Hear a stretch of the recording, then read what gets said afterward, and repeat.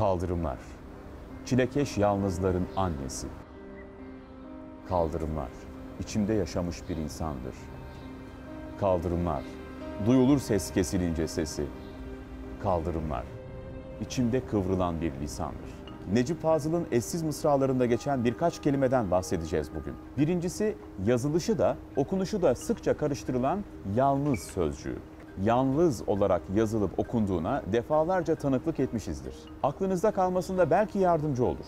Bu sözcük yalın kelimesinden türemiştir. Bu yüzden L harfi önce gelir.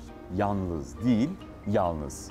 Dil anlamına gelen Arapça kökenli lisan sözcüğünün de zaman zaman lisan olarak telaffuz edildiğini duyarız. Doğrusuysa lisan.